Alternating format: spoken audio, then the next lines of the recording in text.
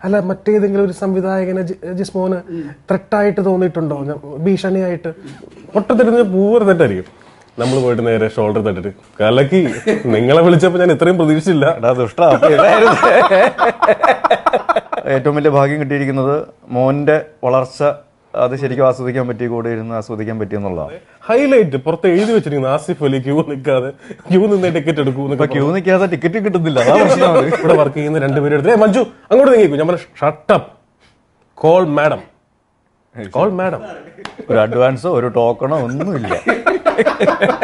കുറച്ച് നടന്നു വരുന്നു പ്രിൻസിപ്പാൾ ഇങ്ങനെ പോകുമ്പോൾ ഗുഡ് മോർണിംഗ് മാഡം എന്നാണ് ഓക്കെ അപ്പോൾ good morning madam retake okay good morning madam retake മറ്റേത് പോലീസുകാർക്ക് എന്താ ഈ വീട്ടിൽ കാര്യം എന്ന് പറഞ്ഞാൽ ചിലതൊക്കെ ഞാൻ അങ്ങോട്ട് ചോദിച്ച് വാങ്ങിക്കുന്ന ക്യാരക്ടേഴ്സും സിനിമകളും പ്രോജക്റ്റുകളും ഒക്കെ ഉണ്ട് കാരണം നിനക്ക് ഒരുപാട് പേര് നിന്നെ വിളിച്ച് അപ്രീഷിയേറ്റ് ചെയ്യും.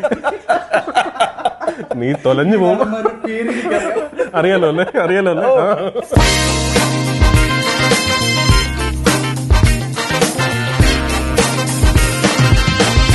മോഹൻകുമാർ ഫാൻസിന്റെ പ്രത്യേകത എന്താ? അവിടുന്ന് അങ്ങ് തുടങ്ങാം. ഏറ്റവും ആദ്യത്തെ പ്രത്യേകത അത് ഞങ്ങൾ രണ്ടുപേരും ഒരുമിക്കുന്നു എന്നുള്ളതാണ് എന്നെ സംബന്ധിച്ച്.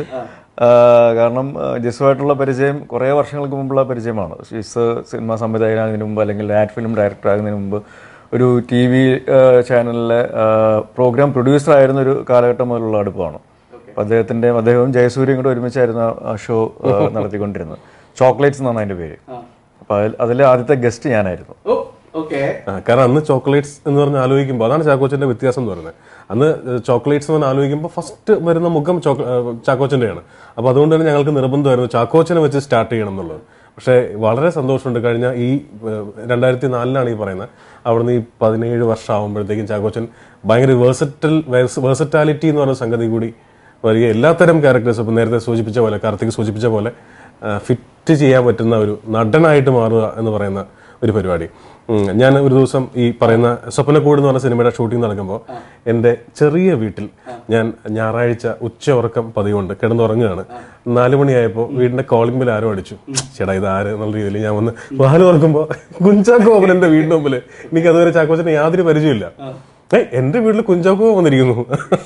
അപ്പോ ഞാനിത് എന്ത് സ്വപ്നമാണോ എന്താണ്? ഞാൻ പുറത്തേക്ക് നോക്കുമ്പോൾ ജയൻ അപ്പുറത്ത് ഒളിച്ചു നിൽക്കുന്നുണ്ട് ജയസൂര്യ.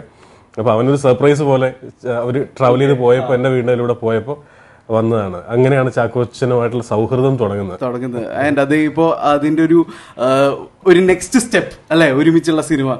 ശരിക്കും ഈ മോഹൻകുമാർ ഫാൻസ് എന്ന് പറയുമ്പോൾ സിനിമയ്ക്കുള്ളിൽ സിനിമ എനിക്ക് തോന്നുന്നു തിരക്കഥ ഉദയനാണ് താരം. അതിനുശേഷം മൊത്തം ഈ ഒരു സിനിമയ്ക്കുള്ള സിനിമ കാണിക്കുന്ന ഒരു സിനിമയല്ലേ? അതെ ഈ- ഈ രണ്ട് സിനിമകളും ഞാൻ വളരെയധികം എൻജോയ് ചെയ്ത സിനിമകളാണ്. എനിക്ക് ഇഷ്ടമാണ്. എനിക്ക് തോന്നുന്നു പ്രേക്ഷകർക്ക് ഇഷ്ടമാണ് ഈ സിനിമയ്ക്കുള്ളിലെ കഥ മര്യാദയ്ക്ക് പറഞ്ഞാൽ ഒരുപാട് എന്താ പറയുക അവർ എക്സ്പെക്ട് ചെയ്യുന്ന രീതിയിലല്ലാതെ ഒരു സംതിങ് ഡിഫറെന്റ് ആയിട്ട് സെർവ് ചെയ്യാൻ പറ്റിയാൽ നല്ലതാണെന്ന് തോന്നുന്നു. ഓക്കെ ശരിക്ക് ചാക്കോച്ചനെ നമ്മൾ കഴിഞ്ഞ പ്രാവശ്യം തിയേറ്ററിൽ കാണുന്നത് ഒരു വൺ സൈക്കോ ത്രില്ലർ സിനിമയിലാണ്. അപ്പോൾ ആ ഒരു മൂഡിൽ നിൽക്കുന്ന സമയത്ത് പെട്ടെന്ന് ജിസ്റ്റേട്ടന്റെ ഈ പറഞ്ഞ ഒരു ഫീൽ ഗുഡ് മൂഡിലേക്ക് കൊണ്ടുവരാൻ എങ്ങനെ പറ്റി? അതായത് ഫസ്റ്റ് ഈ കഥ പറയുന്ന സമയത്ത് പറഞ്ഞോ "ഹ്, ഏ, അഞ്ചാം പാതിരി ഒന്നും കണ്ടില്ലേ? എന്നെ ആ സൈക്കോ മൂഡിൽ നിന്ന് ഫീൽ ഗുഡിലേക്ക് വീണ്ടും കൊണ്ടുവരാണോ എന്ന് വല്ലതും പറഞ്ഞോ? ഇല്ല ഇത് ശരിക്കും ബോബി സഞ്ജയിൽ അവരുടെ കഥയാണ്. അപ്പൊ അവർ കഥ എന്ന് പറയുമ്പോൾ ശരിക്കും അവരുടെ സിനിമകൾ നമുക്കറിയാം. കുറച്ചും കൂടി ഇമോഷണൽ കണ്ടന്റും അങ്ങനത്തെ കുറച്ച് ഡെപ്ത് ഉള്ള സിനിമകളാണ് കൂടുതലും ഉള്ളത് അപ്പോൾ ഈ കഥയും അങ്ങനെ തന്നെയാണ്. പക്ഷേ ഇത് കുറച്ചും കൂടെ ഒരു ഫീൽ ഗുഡ് ആയിട്ട് പറഞ്ഞു പോകുക അല്ലെങ്കിൽ ഹ്യൂമറിന്റെ ഒരു പശ്ചാത്തലം അങ്ങനത്തെ രീതിയിൽ പറഞ്ഞു പോയാലാണ് ആൾക്കാരിലേക്ക് പെട്ടെന്ന് കൺവേ ചെയ്യപ്പെടുകയുള്ളൂ. അത് ജിസ് നന്നായിട്ട് ചെയ്തിട്ടുണ്ട് കാരണം ഇതിന്റെ കഥ ബോബി സഞ്ജയുടെ ആണെങ്കിലും തിരക്കഥാ സംഭാഷണം എല്ലാം ജിസ് തന്നെയാണ് ചെയ്തിരിക്കുന്നത്. അപ്പം അത് ഇവർ കഥ പറഞ്ഞതിന് ശേഷം തിരക്കഥാ രൂപത്തിൽ ജിസ് വന്ന് പറയുമ്പോൾ ഞാൻ ഭയങ്കര എക്സൈറ്റഡ് ആയി. കാരണം അത് പെട്ടെന്ന് കാര്യങ്ങൾ നമുക്ക് മനസ്സിലാക്കാനും അത് ആസ്വദിക്കാനും പറ്റുന്നുണ്ട്. അപ്പോൾ അത് സിനിമയായിട്ട് വരുമ്പോൾ ഞാൻ ആസ്വദിച്ചതിനേക്കാളും അല്ലെങ്കിൽ ഞാൻ എക്സ്പെക്ട് ചെയ്യുന്നതിനേക്കാളും നല്ല രീതിയിൽ പ്രേക്ഷകരിലേക്ക് എത്തും എന്നുള്ള വിശ്വാസമുണ്ട്. കാരണം അങ്ങനത്തെ കുറേ ആൾക്കാർ ഇതിന്റെ കൂടെ പ്രവർത്തിക്കുന്നുണ്ട്. അപ്പോൾ അതുകൊണ്ട് തന്നെ മോഹൻകുമാർ ഫാൻസ് എന്നുള്ളത് എല്ലാ ഫാൻസിനും ഉള്ള ഒരു സിനിമയായിരിക്കും. ഞങ്ങൾ ശിക്കാരി ശംഭു എന്ന് പറഞ്ഞ സിനിമയുടെ സെറ്റിൽ വെച്ചിട്ടാണ്. ഞാൻ അതിനു മുമ്പ് ഓൾറെഡി ചാക്കോച്ചനോട് ബോബി സഞ്ജയ് എന്നെ കഥ പറഞ്ഞിട്ടുണ്ടായിരുന്നു. ശിക്കാരി ശംഭുവിന്റെ സെറ്റിൽ എനിക്ക് ചാക്കോച്ചന്റെ ബർത്ത്ഡേ ആണെന്ന്. അന്ന് എല്ലാവർക്കും ബിരിയാണി ഒക്കെ കൊടുക്കുന്നുണ്ട്. ഒരു കാടിന്റെ ഉള്ളിലാണ് ബിരിയാണി. അപ്പോൾ അങ്ങനെ അവിടെ അവിടെ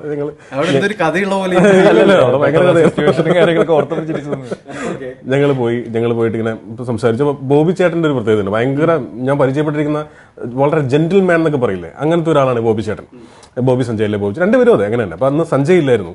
ബോബി ചേട്ടൻ വളരെ എല്ലാം കഴിഞ്ഞിട്ട് ചക്കോ ഇപ്പം എപ്പോ ഈ സിനിമ ചെയ്യാം? എന്ന് ചോദിച്ചു അവർക്ക് ആ ചോദ്യം വളരെ ഇമ്പോർട്ടന്റ് ആണ്. അപ്പൊ ഞാനിങ്ങനെ ഒന്നും മിണ്ടാത്തൊരു പകച്ചു നിൽക്കുന്ന കുട്ടിയെ പോലെ നിൽക്കുകയാണ്. അപ്പൊ ചാക്കോച്ചന്റെ മറുപടി എന്നെ ഭയങ്കര ഭയങ്കര സന്തോഷമായി. ഇവനിത് എപ്പോൾ എഴുതി തീരുന്നോ അതിന്റെ അടുത്ത സിനിമ. അത് അതിലെ ഓരോ വരി എഴുതുമ്പോഴും എന്റെ മനസ്സിലാവും കാരണം അറിയോ നമ്മൾ ഒരു സംഗതി എഴുതി വെച്ചിട്ട് ഇനി എപ്പോഴാണ് ഷൂട്ട് ചെയ്യുന്നത്? അതൊന്നും അറിയാൻ പാടില്ലാതെ എഴുതുന്നതും ഇത് എഴുതിയ ഇമ്മീഡിയറ്റ്ലി പ്രൊജക്റ്റ് ആണെന്ന് പറയുമ്പോൾ ഉള്ള ഒരു സന്തോഷമുണ്ടല്ലോ. ആ സന്തോഷം എനിക്ക് തോന്നുന്നു പ്രവി കാണുമ്പോഴും സിനിമ കാണുമ്പോഴും ഉണ്ടാകും എന്നാണ് ഉണ്ടാകണേന്നാണ് എന്റെ പ്രാർത്ഥന. അടിപൊളി. ശരിക്കും ഇതിപ്പോ ഈ സിനിമ ടൈറ്റിൽ എന്ന് പറയുന്നത് സിദ്ദിഖ് സാറിന്റെ സിദ്ദിഖ് സാറാണ് അപ്പൊ ഈ ശരിക്കും സിനിമയുടെ കഥയും കാര്യങ്ങളൊക്കെ പറയുന്ന സമയത്ത് ഒരു ടൈറ്റിൽ ഹീറോ എനിക്ക് ടൈറ്റിൽ ഹീറോ വേണം. അങ്ങനെ വല്ലതും തോന്നിയോ? എപ്പോഴെങ്കിലും? അങ്ങനെ ഒരു തോന്നൽ മാക്സിമം പറഞ്ഞു നോക്കി പക്ഷെ ഇവർ ഒരു തരത്തിലും അടുക്കുന്നില്ല. പിന്നെ ഈ സിനിമ വേണ്ടത് എന്റെ ആവശ്യമായി പോയി. അല്ല അത് അവിടെയും അതും ചാക്കോച്ചന്റെ ഒരു ബ്യൂട്ടിയാണ് ഈ പറഞ്ഞ പോലെ പല പലപ്പോഴും എന്റെ എന്റെ തല എന്റെ ഫുൾ ഫിഗർ എന്ന് പറയാൻ പറയുന്ന ആളുകളും ഇവിടെയുണ്ട്. അക്കൂട്ടത്തിൽ നമുക്കൊരു നല്ല സിനിമ ഉണ്ടാക്കാം. നല്ല സിനിമയുടെ ഭാഗമാകാം. എന്ന് പറയുന്നത് ഒരു ഒരു ഒരു ഡയറക്ടർക്കും അല്ലെങ്കിൽ അതിന്റെ പുറകിൽ നിന്ന് ഇതൊരു എന്താ പറയുക ഒരു ഒരു ഉന്മേഷമാണല്ലോ ഒരു നല്ല സിനിമ ചെയ്യാനുള്ള. ആ ഉന്മേഷം ഇത്തരത്തിലൊരു ഒരു ഫേസ് വാല്യൂ ഉള്ള ഒരു നടൻ പറയുമ്പോൾ ഒരുപാട് സന്തോഷം തോന്നും നമുക്ക്. ഞാൻ കുറെ ടൈറ്റിലുകൾ പറഞ്ഞു നോക്കി. കാശിന് കാശിന് ആളെ വെച്ച് അവരെ കൊണ്ട് ആലോചിപ്പിച്ചിട്ടൊക്കെ നോക്കി. എന്നിട്ടും അടുക്കുന്നില്ല. ഇത് ഇതൊരു ഒരു സിനിമ എന്ന് പറയുമ്പോൾ സിനിമ വിജയിച്ചാൽ മാത്രമേ അത് ടൈറ്റിൽ റോളാണോ അല്ലയോ എന്നുള്ളത് ഒക്കെ നമ്മളെ നമുക്ക് ഗുണകരമായിട്ട് മാറുള്ളൂ. അത്രേ ഉള്ളൂ. അപ്പൊ അത് വിജയിച്ചാലാണ് അതിൽ ആരൊക്കെ അഭിനയിക്കുന്നു. ഇപ്പൊ പേര് പറയുമ്പോൾ ചിലപ്പോൾ എന്റെ പേരൊക്കെ ആയിരിക്കാം ആദ്യമേ ആ ലിസ്റ്റിൽ വരിക. അപ്പൊ അത് അങ്ങനത്തെ രീതിയിൽ നല്ല സിനിമകളുടെ ഭാഗമാകാൻ വേണ്ടി ഞാൻ നോക്കിയിട്ടുള്ളൂ. എന്റെ മുൻകാല സിനിമകൾ എടുത്ത് നോക്കിയാലും അത് തന്നെ മനസ്സിലാവും. ഇപ്പൊ ശരിക്കും ജിസ് ജോയ് പടം എന്ന് പറഞ്ഞു കഴിഞ്ഞാൽ കംപ്ലീറ്റ് ഫീൽ ഗുഡ് ആണ്. നമ്മളിപ്പോഴും ആ ഫീൽ ഗുഡ് സൈഡ് മാത്രമേ കണ്ടിട്ടുള്ളൂ. ഈ സെറ്റിൽ എങ്ങനെയാണ്? ജിസ്റ്റേറ്റർ ഈ പറഞ്ഞ പോലെ അല്ലു അർജുന്റെ ശബ്ദം കിട്ടുന്ന ഞെട്ടിക്കലും പരിപാടി. ഈ ഫീൽ ഗുഡ് ഫീൽ ഗുഡ് എന്ന് പറയുമ്പോൾ നമ്മൾ വിചാരിക്കും ഭയങ്കര ഫീൽ ഗുഡ് ആണ്. പക്ഷെ ഇതിൽ ഇമോഷണൽ സംഭവങ്ങളുണ്ട്. അത്. അത് ഫീൽ ചെയ്യിക്കുന്നു. അത് നല്ല രീതിയിൽ ഫീൽ ചെയ്യിക്കുന്നുണ്ടാണോ? ഈ ഫീൽ ഗുഡ് എന്ന് പറയുന്നത് എനിക്ക് ഡൗട്ട് ഉണ്ട്. തിയേറ്ററിൽ പോയി കാണുന്ന സമയത്ത് നമുക്ക് ഇറങ്ങി വരുന്ന സമയത്ത് ഉണ്ടാവുന്ന ഒരു സന്തോഷം. ആ- ഒരു തീർച്ചയായിട്ടും ഈ സിനിമയ്ക്ക് ഉണ്ടാവും. തീർച്ചയായിട്ടും ഈ സിനിമയ്ക്ക് അത് ഗ്യാരണ്ടീഡ് ആണ്. പ്ലസ് ഇതിൽ ഇതിനു മുമ്പുള്ള ജിസിന്റെ സിനിമകൾ വെച്ച് നോക്കുകയാണെങ്കിൽ കമ്പയർ ചെയ്യുകയാണെങ്കിൽ കുറച്ചും കൂടി ഹ്യൂമറിന് ഇമ്പോർട്ടൻസ് ഈ സിനിമയിലുണ്ട് അങ്ങനത്തെ വളരെ രസകരമായിട്ടുള്ള നുറുങ്ങ് നുറുങ്ങ് സിറ്റുവേഷൻസും ഹ്യൂമറസ് ആയിട്ടുള്ള ഡയലോഗുകളും കാര്യങ്ങളൊക്കെ ഈ- ഈ സിനിമയിലുണ്ട് അത് ചില കുഞ്ഞു ടീസേഴ്സ് നമ്മൾ വിടുന്നുണ്ട്. അത് കാണുമ്പോൾ നമുക്ക് മനസ്സിലാവും. ഓക്കെ. ജിസ് ചേട്ടനെ കുറിച്ച് പൊതുവെ പറഞ്ഞു കേട്ടിട്ടുള്ള ഒരു കാര്യം ദേഷ്യം വരാത്തൊരു മനുഷ്യൻ അസിസ്റ്റൻസിന്റെ അടുത്ത് ദേഷ്യപ്പെടില്ല. എന്തൊക്കെ അവിടെ സംഭവിച്ചാലും ദേഷ്യം വരില്ല എന്നുള്ള സത്യമാണോ അത്? അങ്ങനെ അങ്ങനെ ദേഷ്യപ്പെട്ട് കണ്ടിട്ടില്ല. എങ്ങനെ ഈ ആങ്കർ മാനേജ്മെന്റ് എങ്ങനെയാ സംഭവിക്കുന്നത്? പൊതുവേ എല്ലാ ഡയറക്ടേഴ്സിനും ചോദിച്ചു കഴിഞ്ഞാൽ പ്രത്യേകിച്ച് ഈ രണ്ട് ടേക്ക് അല്ലെങ്കിൽ എന്തെങ്കിലും ഒരു അസിസ്റ്റന്റ് തെറ്റു ഞാൻ ആഡ് ഫിലിമിൽ നിന്നാണല്ലോ വരുന്നത്. അപ്പം രണ്ടായിരത്തി നാലിലാണ് ആഡ് ഫിലിം കമ്പനി സ്റ്റാർട്ട് ചെയ്യുന്നത്. അക്കാലത്ത് നമ്മളിപ്പോൾ ഒരു പരസ്യം ഫോർ എക്സാമ്പിൾ മുടി വളരുന്നതിന്റെ പരസ്യം ആണെന്ന് വെച്ചോളൂ മുഖം വെളുക്കുന്നതിന്റെ പരസ്യം അതിന്റെ എന്തെങ്കിലും ഷാമ്പൂവിന്റെ ഒക്കെ ആയിരിക്കാം. ഒരു മുംബൈ മോഡലായിരിക്കാം ഡൽഹി മോഡലായിരിക്കാം വരുന്നത്. ഒരു ഒരു എന്താ പറയുക ഒരു ഒരു എ ഫോർ സൈസ് പേപ്പറിൽ അത്രയും ഡയലോഗ്സ് ഉണ്ടാവും. ഇവർ വന്നിട്ട് ഇവരുടെ പ്രശ്നം എന്ന് വെച്ചാൽ ഞാൻ പറയുന്നത് കറക്റ്റ് ഹിന്ദിക്കാരാണല്ലോ. മലയാളമാണ് പറയേണ്ടത്. ഞാൻ ഇത് ഈ ഓയിൽ പുരട്ടിയപ്പോൾ എന്റെ മുടി വലുതായി എന്നൊക്കെ പറയുന്ന പോലത്തെ കുറേ പരിപാടി. അപ്പൊ ഇവർക്ക് ഫുൾ ടെൻഷനാണ് ഇത് ശരിയാകോ ശരിയാകോ എന്നുള്ളത്. അങ്ങനെ പഠിച്ചെടുത്ത വിദ്യയാണ്. അതായത് ഫസ്റ്റ് ടേക്ക് ഉണ്ടല്ലോ പൊട്ടത്തെറ്റായിരിക്കും പൊട്ടത്തെറ്റ് പൂവർ തെറ്റായിരിക്കും. നമ്മൾ പോയിട്ട് നേരെ ഷോൾഡർ തട്ടിട്ട് കലക്കി. നിങ്ങളെ വിളിച്ചപ്പോൾ ഞാൻ ഇത്രയും പ്രതീക്ഷിച്ചില്ല. ദുഷ്ട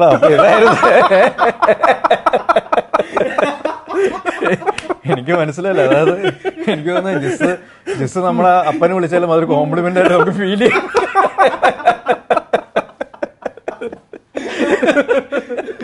അല്ലല്ല അത് നമ്മളത്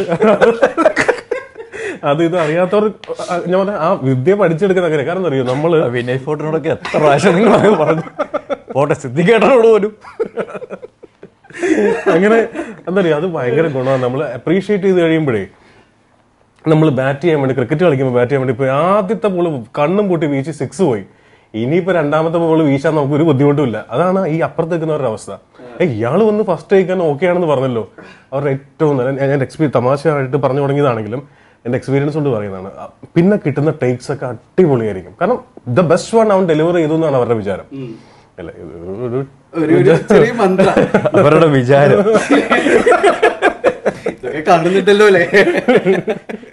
ശരിക്കും ഇപ്പൊ ജിസ്റ്റേട്ടന്റെ ഒരു ഇന്റർവ്യൂ എന്നാണ് ഞാൻ ഈ അടുത്ത് അറിഞ്ഞത്. ഇപ്പോഴും ആസിഫ് അലി എന്ന് പറഞ്ഞു കഴിഞ്ഞാൽ ക്യൂ നിന്നിട്ടാണ് ടിക്കറ്റ് എടുക്കുക.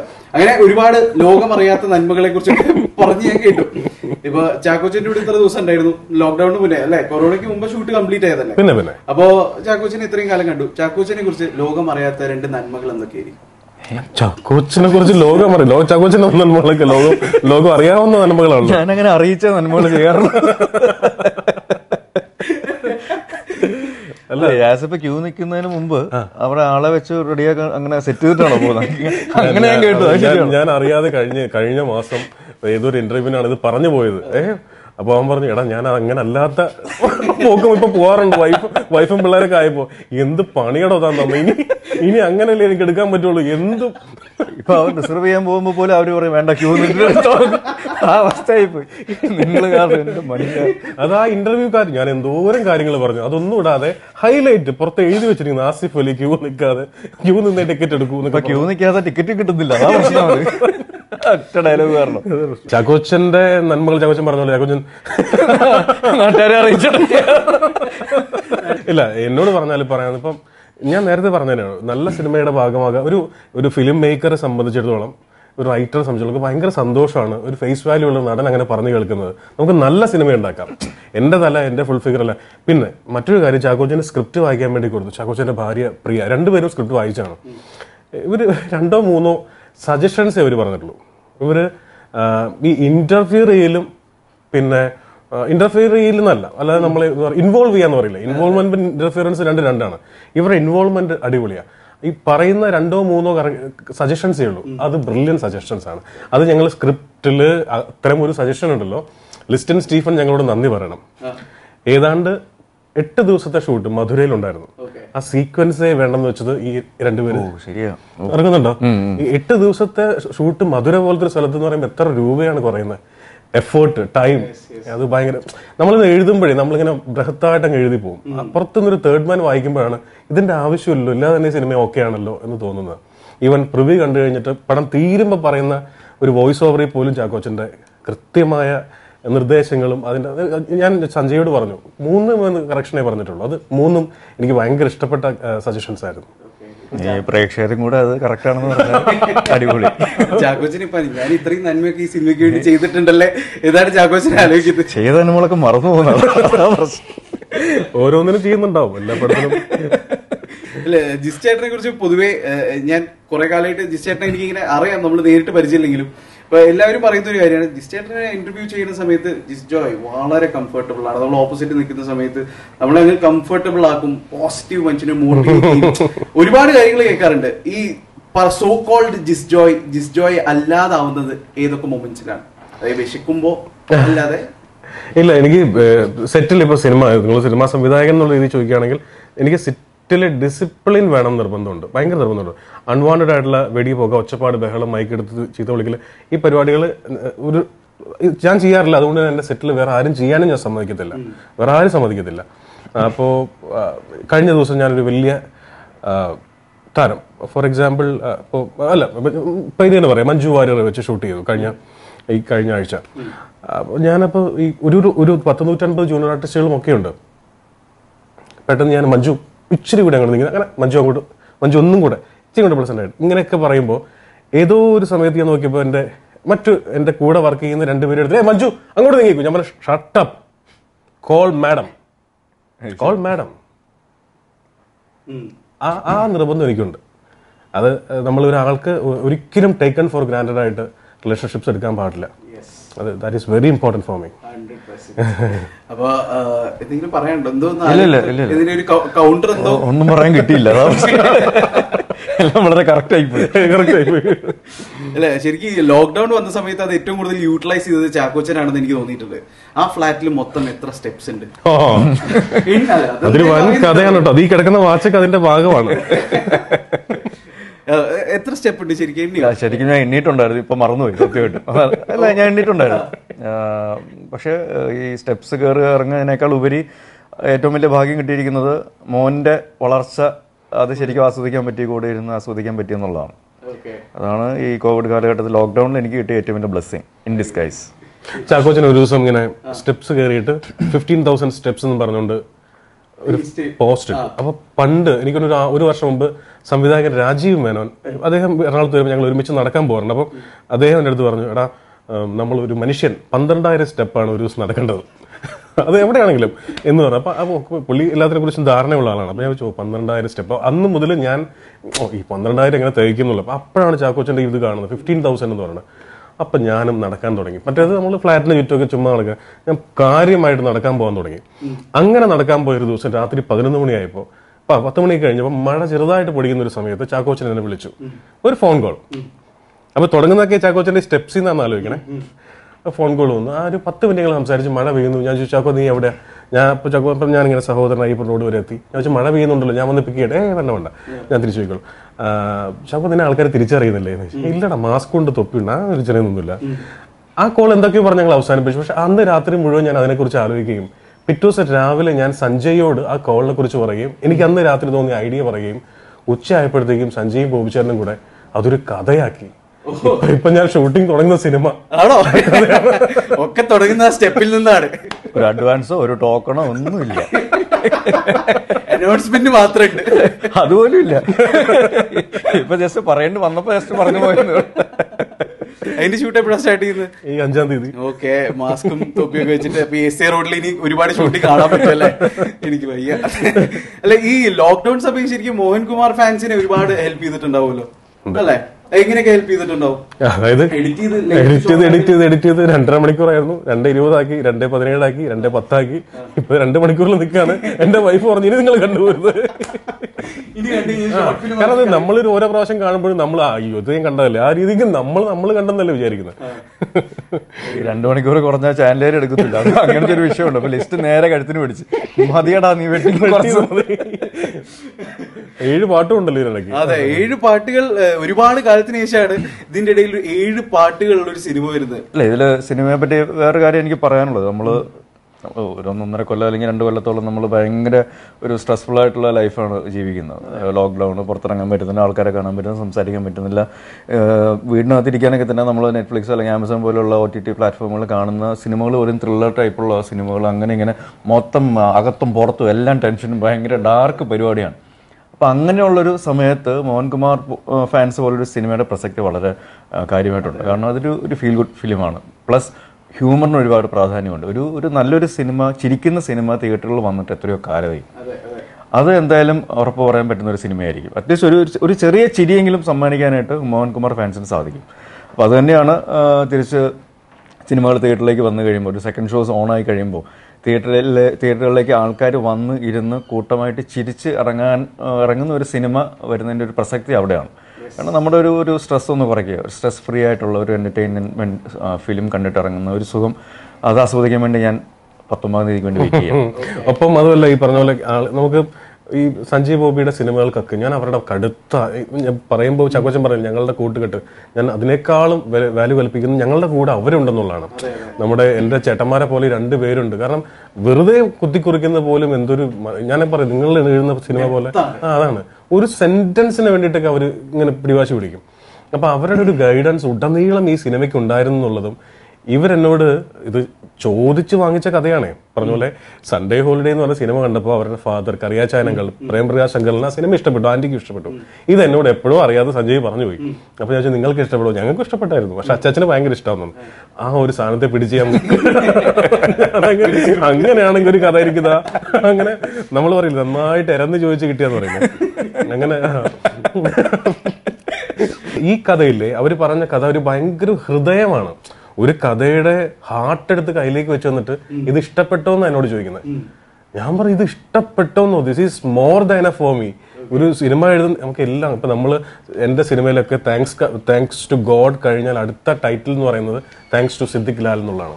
കാരണം എന്നെ അത്രയേറെ പറയുമ്പോൾ ശ്രീനിയേട്ടന്റെ പടങ്ങളും സത്യേട്ടന്റെ പടങ്ങളും പ്രിയൻ സാറിന്റെ പടങ്ങളും ഫാസിൽ സാറിന്റെ പടങ്ങളും ഒക്കെ ഇഷ്ടപ്പെട്ടിട്ടുണ്ട്. പക്ഷെ എനിക്ക് ദൈവമേ ഒരു പാട്ട് വന്നെങ്കിൽ എന്ന് നമ്മൾ ആഗ്രഹിക്കുന്നതിന് ഒരു സെക്കൻഡ് മുമ്പ് അവരുടെ പടത്തിൽ പാട്ട് വരും. സിനിമ തീരണോ നമ്മൾ ആലോചിക്കുമ്പോഴത്തേക്കും സിനിമ തീരും. അത്രയും പ്രേക്ഷകരുടെ പൾസ് അറിഞ്ഞ ഞാൻ ഈ കഴിഞ്ഞ ദിവസം സാറോട് പറഞ്ഞു നമ്മളെ ചില കാര്യങ്ങൾ സിനിമയിൽ സ്ക്രീൻ റിയാലിറ്റി എന്നൊരു സംഗതി ഉണ്ടല്ലോ. ചില കാര്യങ്ങൾ നമ്മളെ ഓഡിയൻസിനെ മറന്നു പോകണം ഓഡിയൻസ് ഫോർ എക്സാമ്പിൾ ഗോഡ് ഫാദറിന്റെ ക്ലൈമാക്സ് അവിടെ കല്യാണം നടക്കുമ്പോഴാണ് പാചകക്കാർ വരുന്നത്. നമുക്കൊരു കുഴപ്പമില്ലായിരുന്നു. അങ്ങനെ അവരെല്ലാ പടത്തിലും അത്തരം സ്ക്രീൻ റിയാലിറ്റീസ് അവർ ഉപയോഗിക്കാറുണ്ട്. അപ്പൊ അതുകൊണ്ട് തന്നെ ഇപ്പോൾ നീർപ്പളുങ്കുകൾ ചിതറി വീഴും എന്നുള്ള പാട്ട്. മലയാള സിനിമയിൽ എനിക്ക് ഏറ്റവും ഇഷ്ടപ്പെട്ട മുഹൂർത്തമാണത്. അതായത് ആ- പാട്ട് ആ സിനിമയിൽ നിന്ന് കളയാൻ പറ്റില്ല ഒരിക്കലും. അത്ര മനോഹരമായ ബ്ലെൻഡിങ് ആണ് ആ സിനിമയിലെ പാട്ടെന്ന് പറയുന്നത്. അപ്പോൾ എവിടേക്കോ അവർ നമ്മളെ സ്വാധീനിച്ചിട്ടുണ്ട്. അവർ എന്തിനാണ് അവർ ആളുകളെ ചിരിപ്പിക്കാൻ വേണ്ടി ശ്രമിച്ചത്? അത് വളരെ ഇമ്പോർട്ടന്റ് ആണ് ഈ കാലഘട്ടത്തിൽ എന്ന് എനിക്ക് തോന്നുന്നു. ഞാൻ ഈ അടുത്ത് കണ്ട ഒരുപാട് ഇന്റർവ്യൂസിൽ വന്നിട്ടുള്ള യൂട്യൂബ് കമന്റ്സിൽ ജിസ്റ്റേട്ടൻ വായിച്ചിട്ടുണ്ടോ എന്ന് എനിക്കറിയില്ല. വായിക്കാൻ സാധ്യതയില്ലെന്ന് തോന്നുന്നു. സംഭവം വന്നിട്ടുള്ളൊരു കാര്യം പണ്ടൊക്കെ അല്ലു അർജുനെ ജിസ്ജോയ് ജിസ് ജോയ് ചേട്ടനെ കാണുന്ന സമയത്തൊക്കെ അല്ലു അർജുനെ ഓർമ്മ വരും. പക്ഷെ ഇപ്പോ അല്ലു അർജുനെ കാണുന്ന സമയത്ത് ഞങ്ങൾക്ക് ജിസ്ജോയിനെയാണ് ഓർമ്മ വരുന്നത്. സോ ഈ ഒരു ട്രാൻസ്ഫോർമേഷൻ അത് എത്ര ഈസി ആയിരുന്നു? ഇരുപത്തഞ്ച് സിനിമ അദ്ദേഹത്തിന് വേണ്ടി ഡബ് ചെയ്തു. അപ്പോൾ ആദ്യത്തെ സിനിമകളൊക്കെ ചെയ്യുമ്പോൾ ആര്യ എന്ന് പറയുന്ന സിനിമയാണ് ഡബ് ചെയ്യുന്നത്. മൂന്ന് ദിവസം എടുത്താൽ തീർത്തത്. ഒരു താല്പര്യമില്ലാതെ ഡബ് ചെയ്ത സിനിമയാണ്. കാരണം ഡബിങ് സിനിമകൾ ആൾക്കാർ കാണുമെന്നൊന്നും ഒരു പ്രതീക്ഷയില്ലല്ലോ. ഇത് ആൾക്കാർ കണ്ടാലല്ലേ നമുക്കൊരു എഫോർട്ട് ഇടുന്നതിന് കാര്യമുള്ളൂ. അതിനൊപ്പം ഖാദർ ഹസൻ എന്ന് പറയുന്ന അതിന്റെ ഭയങ്കര പിടിവാശിക്കാരനായിട്ടുള്ള നല്ല മനുഷ്യനാട്ടോ. അദ്ദേഹത്തിന്റെ ഈ പറഞ്ഞ പോലെ ഒരു ഗുഡ് മോർണിംഗ് മാഡം എടുക്കാൻ വേണ്ടിയിട്ട് ഒരു ഗുഡ് മോർണിംഗ് മാഡം കഴിഞ്ഞു. അത് അല്ലു അർജുൻ നടന്നു വരുന്നു. പ്രിൻസിപ്പാൾ ഇങ്ങനെ പോകുമ്പോൾ ഗുഡ് മോർണിംഗ് മാഡം എന്ന് പറഞ്ഞു. ഓക്കെ അപ്പോൾ good morning madam retake okay good morning madam retake മറ്റേത് പോലീസുകാർക്ക് എന്താ ഈ വീട്ടിൽ കാര്യം എന്ന് പറഞ്ഞ പോലെ മു- മുപ്പത്തഞ്ച് ടേക്ക് ആയപ്പോഴാണ് എനിക്ക് മനസ്സിലായത്. ഇത് നടപടിയാവില്ല എന്ന് പറഞ്ഞ് തിയേറ്ററിൽ നിന്ന് ഇറങ്ങിപ്പോയി. ഞാൻ ഡബിങ് മറന്നുപോയോ എന്നൊക്കെ എനിക്ക് സംശയമായി. കാരണം കാർത്തികനോട് ഇപ്പൊ ഗുഡ് മോർണിംഗ് മാഡം പറയാൻ എത്ര- മോഡുലേഷനിൽ പറയും? Good morning madam good morning madam good morning madam ഇതൊക്കെ പറ്റുള്ളൂ. കുറച്ചുകൂടി നമ്മുടെ കയ്യിൽ നിന്ന് പോകുമല്ലോ അങ്ങനത്തെ ഒരു അവസ്ഥയില്ല അങ്ങനെ ഇറങ്ങിപ്പോയെന്ന് പറഞ്ഞാൽ ഇറങ്ങിപ്പോയതാണ് ഇറക്കി വിട്ടതാണ്. എന്റെ ചാക്കോച്ച ഇറങ്ങി പോയി കഴിഞ്ഞപ്പോഴാണ് സത്യം ഞാൻ അറിയുന്നത്. റെക്കോർഡിസ്റ്റ് പറയുക വരെയാണ്. അത് പോരുത് തീർക്കണം. എന്ത് പറ്റി? അത് ശരത്ത് ഇതുപോലെ ഇറങ്ങിപ്പോയി. കൃഷ്ണേന്ദ്രൻ ഇറങ്ങിപ്പോയി. നന്ദു എന്ന് പറഞ്ഞ ചേട്ടനുണ്ട്. ആ ചേട്ടൻ ഇറങ്ങിപ്പോയി. അങ്ങനെ നിരവധി അനവധി പേരുകൾ ഇറങ്ങിപ്പോയ ഒരു സ്ഥലത്താണ് ഞാനും ഒന്ന് ഇറങ്ങി പോകാനായിട്ട് വിളിക്കാൻ ആരും ഇല്ല. കൃത്യമായി ഈ സ്ഥലത്ത് പറഞ്ഞു പോകുന്നു. ഗുഡ് മോർണിംഗ് മേഡം എത്തുമ്പോ ഓക്കെ അങ്ങനെയാണ് പിന്നെ തിരിച്ചു വന്നിട്ട് പക്ഷെ ഇപ്പൊ ഞാനത് എൻജോയ് ചെയ്യുന്നുണ്ട്. എന്താ പറയാ ഭയങ്കര ഇരുപത്തഞ്ച് സിനിമയായി. ആസ്വദിച്ചാണ് ആ ജോലി ചെയ്യുന്നത്. പക്ഷെ ഒരു കാര്യമുണ്ട് കാർത്തിക്. ഇപ്പൊ ഞാൻ സിനിമയിലേക്ക് സ്വിച്ച് ഓവർ ചെയ്തില്ലായിരുന്നെങ്കിൽ ഒരു ഡബിങ് ആർട്ടിസ്റ്റ് ആയിട്ട് മാത്രം ഉപജീവനമാർഗം കഴിക്കുന്ന ഒരു അവസ്ഥയായിരുന്നെങ്കിൽ പെട്ടുപോയനെ. കാരണം മറ്റൊരാൾക്കും എന്റെ ശബ്ദം മാച്ച് ആവില്ല ഇപ്പൊ ഈ സിനിമയിലേക്ക് വന്നു കഴിഞ്ഞാലും life is not that easy അല്ലേ? അത്യാവശ്യം സ്ട്രഗിൾ ചെയ്തിട്ടുണ്ടോ അതോ ഈസി ആയിരുന്നോ ഈ ഈ കഴിഞ്ഞപ്പോ സിനിമകളൊക്കെ ചെയ്യൽ എന്ന് പറയുന്നത്? അല്ല എല്ലാത്തിനും അതിന്റെതായ ബുദ്ധിമുട്ടുകളുണ്ട്. സിനിമ കമ്പാരിറ്റീവ്ലി കുറവുള്ള ബുദ്ധിമുട്ട് കുറവുള്ള കാരണം ഇപ്പൊ ചാക്കോച്ചിനാണെങ്കിലും ആസിഫ് അലീനാണെങ്കിലും ഈ താരങ്ങളെ പരിചയമുണ്ടല്ലോ. അപ്പം ഈ ആർട്ടിസ്റ്റുകളുടെ ഏറ്റവും വലിയ ഗുണം എന്താണെന്ന് വെച്ച് കഴിഞ്ഞാൽ ഇപ്പൊ എത്ര വലിയ ഡയറക്ടർ ആണെങ്കിലും ഇവർക്ക് ചൂസ് ചെയ്യാനുള്ള ഒരു ലിബർട്ടി ഉണ്ട്. ഏത് പ്രത്യേകിച്ച് നമ്മുടെ സൗത്ത് ഇന്ത്യയിലും ബോളിവുഡിലൊക്കെ ഇവർക്ക് ചൂസ് ചെയ്യാം. ഏതൊക്കെ തരം ഡയറക്ടേഴ്സിന് ഇത് ഈ പടം കഴിഞ്ഞ് അടുത്ത് ഇത് ചെയ്യാമെന്ന് ഡിസൈഡ് ചെയ്യുന്നത് പണ്ട് അങ്ങനെ അല്ലായിരുന്നല്ലോ. ഇപ്പൊ ഒരുപക്ഷെ ചാക്കോച്ചൻ അത്തരം ഒരു സിനിമ നിർമ്മിക്കുന്ന ഒരു കുടുംബത്തിലെ കുടുംബത്തിൽ നിന്നാണ് വരുന്നത്. അന്ന് അല്ലെ കുഞ്ചാക്കോ മുതലാളി ഒരു ഒരു കാര്യം തീരുമാനിക്കുന്നു എന്ന് പറഞ്ഞാൽ ഓക്കെ ആ പടത്തിൽ നസീർ സാർ വരുന്നു. ഇപ്പൊ അതിന് നേരെ ഉൾട്ടയാണ് സംഭവിച്ചുകൊണ്ടിരിക്കുന്നത്. അപ്പോൾ ഈ അവിടെയാണ് നമുക്ക് ഈ ആർട്ടിസ്റ്റുകളെ പരിചയമുള്ളതും പിന്നെ നമ്മുടെ മുൻകാല സിനിമകൾ നന്നാ- നന്നായിട്ടുണ്ടെങ്കിൽ അതിനൊരു പ്രിഫറൻസ് ഉറപ്പായിട്ട് നമുക്ക് കിട്ടുമായിരിക്കും. എനിക്ക് തോന്നുന്നു അത്യാവശ്യം ഈ സിനിമാ മേഖലയിൽ സ്ട്രഗിൾ ഒക്കെ ചെയ്തിട്ടുള്ളതുകൊണ്ടായിരിക്കും ഈ പുതിയ ആൾക്കാർക്ക് അവസരം കൊടുക്കുന്നത് അല്ലെ? കൂടുതലും കാസ്റ്റിംഗിലാണെങ്കിലും പുതിയ ആൾക്കാർക്ക് അവസരം കൊടുക്കുന്നത് ജിജുവായിട്ട് ആ ഒരു കാര്യത്തിൽ ഞാൻ ആഗ്രഹിച്ച ആർട്ടിസ്റ്റിനെ കിട്ടിയില്ലെങ്കിൽ പിന്നെ അതിന് അത് ചെയ്യാൻ പുതിയ ആൾക്കാരെ ഇൻവൈറ്റ് ചെയ്യുന്നത് കാരണം ആ പിന്നെ ഇന്ന ആളില്ലെങ്കിൽ ഇന്ന ആളാന്ന് ഒരു എസ്റ്റാബ്ലിഷ്ഡ് ആളെ വിളിച്ച് കോംപ്രമൈസ് ചെയ്യുന്നതിനേക്കാളും എനിക്കിഷ്ടം എസ്പെഷ്യലി ഇപ്പോൾ നമ്മുടെ നായിക. ഞാൻ വേറൊരു കുട്ടീനെയാണ് ആദ്യം വിചാരിച്ചിരുന്നത്. അപ്പൊ അത് ആ ഒരു കുട്ടിക്ക് ഡേറ്റ് ശരിയായില്ല അങ്ങനെ കുറേ കാര്യങ്ങൾ പറഞ്ഞപ്പോൾ എന്നാ ഒരു പുതുമുഖത്ത് ഇൻട്രൊഡ്യൂസ് ചെയ്യാം എന്ന് കരുതി. അപ്പോൾ അത് നല്ലൊരു അനാർക്കലി എന്ന് പറയുന്ന ഒരു കുട്ടിയാണ്. അതിമനോഹരമായിട്ട് സിനിമയിൽ അഭിനയിച്ചിട്ടുണ്ട്. സ്വന്തമായിട്ട് തന്നെ ശബ്ദം കൊടുത്തിട്ടുണ്ട്. നല്ല കാര്യമില്ല ഒരാളുടെ അല്ല ശരിക്കും ഇപ്പൊ ജിജോയേട്ടന്റെ കാര്യം പറയുകയാണെങ്കിൽ ഈ പുതുമുഖ നടന്മാർ അല്ലെങ്കിൽ ഇപ്പൊ കൊച്ചിയിൽ തന്നെ നമ്മൾ നോക്കുകയാണെങ്കിൽ എല്ലാ ദിവസവും ട്രെയിൻ ഇറങ്ങുന്നുണ്ടാവും ഒരു നടൻ. നടൻ അവൻ ആഗ്രഹിക്കുന്ന ഷോർട്ട് ഫിലിംസ് അപ്പൊ അവർക്കൊക്കെ ഒരു അവസരം കൊടുക്കാന്ന് പറയുന്നത് തന്നെ ഒരു വലിയ കാര്യം തന്നെയാണ്.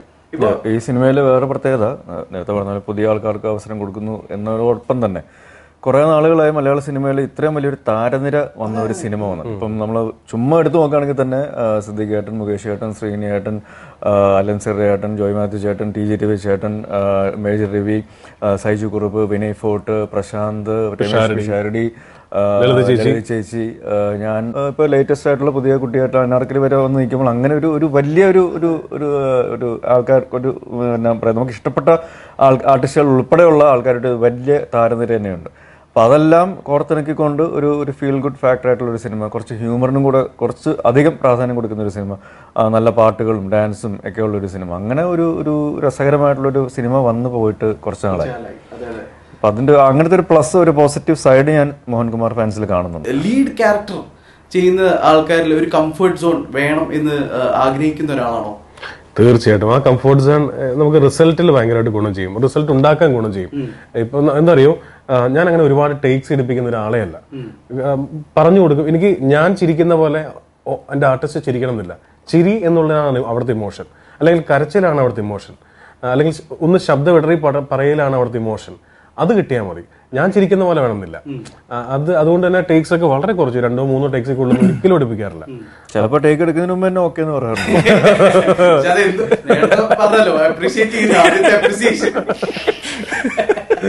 അത് അതെ. അതെ ഞാനത് വളരെ ഓപ്പൺ ആയിട്ട് പറയുകയും ചെയ്യുന്നു. എനിക്ക് എനിക്ക് ഭയങ്കര ഇഷ്ടം അത് പറയുന്നത് ഞാൻ ഉദ്ദേശിക്കുന്നത് ഇപ്പം അറിയോ കാർത്തിക് ഇതിന്റെ ഒരു സുഖം എഴുത്തിന്റെ ഒരു സുഖം എന്ന് പറയുന്നത് നമ്മൾ എപ്പോഴും ഈ വേൾഡ് മുഴുവൻ കിടന്ന് ഉറങ്ങുന്ന സമയത്ത് നമ്മൾ നമ്മളുടെ ടേബിളിലിരുന്ന് ടേബിൾ ലാമ്പിന് താഴെ പേനയും പേപ്പറിലും നമ്മൾ എന്തൊക്കെയോ ആലോചിച്ച് കൂട്ടി എഴുതി ഉണ്ടാക്കുന്നു. ഇത് സിനിമ കഴിയുമ്പോൾ ആ കുഞ്ചാക്കോ ഭവന്റെ ഒരു സിനിമ നന്നായി. അല്ലെങ്കിൽ ആസിഫ് അലിയുടെ സിനിമ നന്നായി. പൃഥ്വിരാജ് ഈ- ക്രെഡിറ്റ്സ് പലരും കൊണ്ടുപോകാം. പക്ഷെ ഇത് ആര് കൊണ്ടുപോയാലും ആഫ്റ്റർ ഓൾ ഉള്ളിന്റെ ഉള്ളിൽ നമുക്ക് കിട്ടുന്ന ഒരു സന്തോഷം ഉണ്ടല്ലോ ഒരു കിക്ക് ഉണ്ടല്ലോ. ഏയ് ഞാൻ എഴുതിയതാണല്ലോ ഇത്. മറ്റാരാവുന്നതിന് മുമ്പ് മറ്റാരും കാണുന്നതിന് മുമ്പ് ഇത് എന്റെ ആയിരുന്നല്ലോ എന്ന് പറയുന്ന ഒരു സുഖമാണ് ഏതൊരു എഴുത്തുകാരനും ആസ്വദിക്കുന്ന ഒരു ഘടകം അത് ഇവർ നന്നായിട്ട് പെർഫോം ചെയ്ത് കാണുമ്പോൾ നമുക്ക് ഞാൻ ഓപ്പണായിട്ട് പറയും. ഭയ- ഭയങ്കര മൈക്കിൽ തന്നെ പറയുകയും ചെയ്യും. എക്സലന്റ് എനിക്ക് അത്രയ്ക്ക് ഇഷ്ടമാവും. അപ്പോൾ ദൈവസായിച്ച് കൂടെ വർക്ക് ചെയ്തിരിക്കുന്ന ആർട്ടിസ്റ്റുകളെല്ലാം അങ്ങനെ ഡെലിവർ ചെയ്യുന്ന ആൾക്കാരാണ്. ഇപ്പോൾ അതുകൊണ്ട് ഇപ്പോൾ ലളിത ചേച്ചിയൊക്കെ തന്നെയാണെങ്കിലും അല്ലെങ്കിൽ സിദ്ധിക്കൊക്കെ പലരും ചോദിക്കും എന്താണ് റിപ്പീറ്റ് ചെയ്യുന്നതെന്ന്? പകരക്കാരില്ലാത്തതുകൊണ്ടാണ് റിപ്പീറ്റ് ചെയ്യുന്നത് അവരിപ്പോൾ സൺഡേ ഹോളിൽ ലളിത ചേച്ചി വന്ന് പറയുന്ന എതിരെ നിൽക്കുന്നവനെ ഉള്ളൊന്നും അറിയാൻ ശ്രമിച്ച എല്ലാവരും പാവങ്ങളാ മോനെ എന്ന് പറയുന്ന ആ ഒരു സീക്വൻസ് ഒരു പുതിയ ആളെ വെച്ച് ഇമാജിൻ ചെയ്ത് നോക്കി. നമുക്ക് കിട്ടില്ല. ആ സാധനം നമുക്ക് കിട്ടില്ല. കിട്ടത്തില്ല. അതാണ്. മാത്രമല്ല ആസിഫ് അലി എന്ന് പറയുന്നത് ശരിക്കും ജിസ് ജോയ് മൂവീസിൽ ഒരു ലക്കി മാസ്കറ്റ് ആയിട്ട് ഫീൽ ചെയ്യാറുണ്ടോ? അല്ല അങ്ങനെയല്ല. ഇപ്പൊ കഴിഞ്ഞ പടങ്ങളൊക്കെ ഓടി. അങ്ങനെയല്ല ഇപ്പൊ ആസിഫ് വരെ നല്ല സുഹൃത്താണ്. എല്ലാ കഥകളും ആസിഫിനോട് ഷെയർ ചെയ്യാറുണ്ട്. അങ്ങോട്ടും ഇങ്ങോട്ടും ഷെയർ ചെയ്യാം. ആസിഫ് കമ്മിറ്റ് ചെയ്യുന്ന പടങ്ങളും ചെയ്യാറുണ്ട്. അപ്പോൾ ഒരു നല്ല സുഹൃത്താണ്. ഇപ്പൊ ചാക്കോച്ചന്റെ ഒക്കെ പോലെ തന്നെ വളരെ അടുത്ത സുഹൃത്താണ്. ഈ ഞാൻ പറയുന്നത് ആസിഫ് അലിയെ പരിചയപ്പെടുന്നതിന് മുൻപ് ചാക്കോച്ചനെ ഞാൻ പറഞ്ഞു ഈ പരിചയപ്പെട്ട കാര്യവും ചാക്കോച്ചൻ ആലപ്പുഴയിൽ നിന്ന് എറണാകുളത്തേക്ക് എസ് ഐയുടെ ഫ്ലാറ്റിലേക്ക് മാറിയപ്പോഴും ഞാനും ഇപ്പൊ അഭിനയിക്കുന്ന ദിനേഷും ഒക്കെ വല്ലപ്പോഴും ചാക്കോച്ചന്റെ വീട്ടിൽ വിസിറ്റ് ചെയ്യുകയും അങ്ങനത്തെ ഒരു കാലം ഉണ്ടായിരുന്നു. ചാക്കോച്ചൻ ഓർഡിനറി എന്ന് പറഞ്ഞ സിനിമ ചെയ്യുന്നതിന് മുൻപ്. അപ്പോൾ ഈ എനിക്കുള്ള സൗഹൃദങ്ങൾ എനിക്ക് എനിക്ക് ഇമ്പോർട്ടന്റ് ആണ്. വളരെ എല്ലാവർക്കും ഇമ്പോർട്ടന്റ് ആണ്. അതുപോലെ തന്നെ യാസിഫ് അലിയുടെ പ്രത്യേകത ഈ പറഞ്ഞ പോലെ അയാളുടെ കൂടെ ഒരുപാട് പടം എപ്പോഴും ചെയ്യാൻ തോന്നും. കാരണം അങ്ങനത്തെ ഒരു കംഫർട്ട് സംഭവത്തിനകത്താണ്.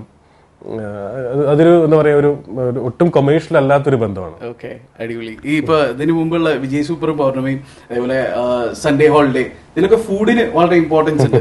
ബേസിക്കലി ജിസ് ജോയ് എന്ന് പറഞ്ഞു കഴിഞ്ഞാൽ ഒരു ഫുഡിയാണോ ഫുഡിയാണ് പിന്നെ തീർച്ചയായിട്ടും. എനിക്ക് ഭയങ്കര ഇഷ്ടമാണ് വെറൈറ്റി ആയിട്ടുള്ള ഫുഡ്സ് കഴിക്കാൻ.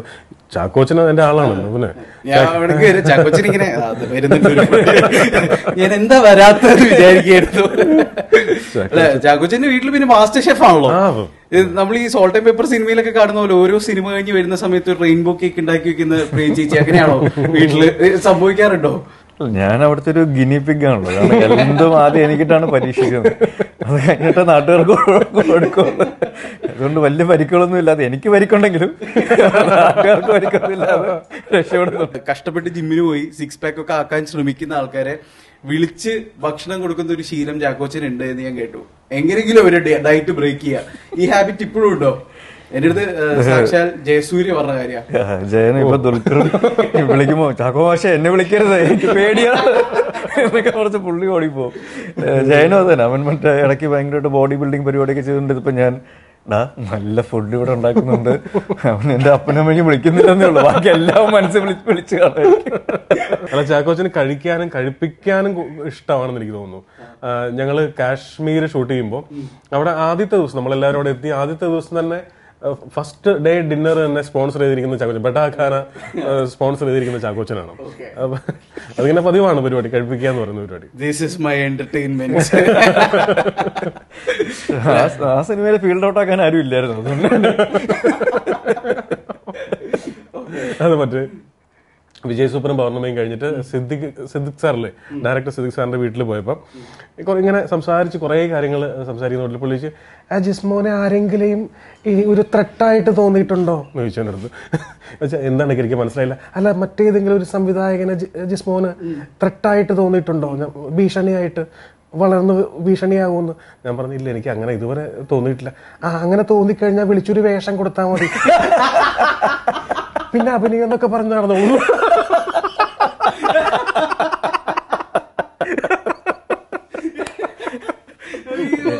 സിദ്ദിഖ് സാറിന്റെ പടത്തിൽ അഭിനയിച്ച ഡയറക്ടർമാരെയൊക്കെ ഒന്ന് നോട്ടം